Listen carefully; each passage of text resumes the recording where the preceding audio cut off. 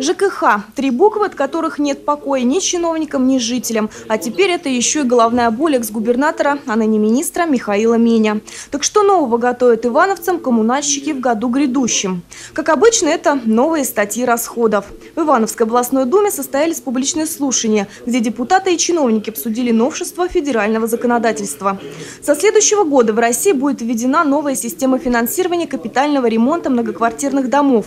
Появятся некие региональные операции операторы, которые будут аккумулировать деньги жителей. Эта организация должна быть некоммерческой. Она финансируется с областного бюджета, определяется региональный оператор э, и контролируется правительством э, субъекта. Но в то же время, э, естественно, контроль граждан при выполнении капитального ремонта и, должен быть. И создание советов домов, и контроль именно и подписание актов. Вот здесь должны участвовать жители. Обещают, что ремонтировать дома будут не только сами жители. Предусмотрено региональное и муниципальное софинансирование. Объемы его не определены, как, собственно, и денежные лепты ивановцев в эту новую программу.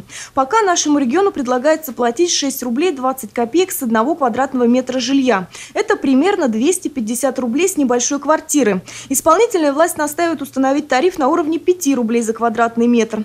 Это самая низкая разрешенная планка. В любом случае, к Новому году то или иное решение будет принято принято. И через два месяца после его опубликования жители начнут платить региональному оператору. Это будет примерно с марта следующего года. Сами виды ремонтов, сами виды ремонтов будут определять управляющие компании, основываясь на собрании жителей, собственников многоквартирных домов. Крышу ли в первом и так далее. Вся эта масса данных по э, всем параметрам домов будет стекаться в региональный оператор и будет ранжироваться. Если эту крышу, например, делали там в прошлом году, но она будет там отстоять через нормативный срок. Если делать давно, то в первую очередь.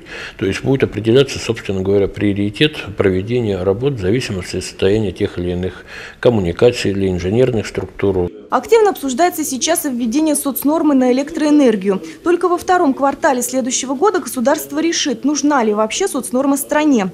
Если решение будет положительным, то нашему региону предстоит определиться, сколько киловатт-часов разрешить потреблять Ивановцу, при этом не доставляя неудобств. Предварительно депутаты склоняются к цифре 150. Это средняя норма, которая будет предложена одному члену семьи. Второй получает, скажем, 100 киловатт-часов, а каждый последующий по 50. Так для семьи из трех человек норма будет составлять 300 киловатт-часов в месяц. Соответственно, будут свои нюансы. Повышающие коэффициенты применяются в случае, если в домохозяйствах установлено дополнительное электропотребляющее оборудование в соответствии с проектом, и если э, в жилом доме, в домохозяйстве проживают э, льготные категории граждан, там пенсионеры по старости, пенсионеры по инвалидности. Первый год действия соцнормы на пенсионеров распространяться не будет. Как говорят депутаты, 2014 скорее всего весь будет занят разработкой проекта. А это значит, к новым правилам расходования электричества привыкать в ближайшее время, вероятнее всего, не придется никому. Елена Белова, Денис Денисов, РТВ Иванова.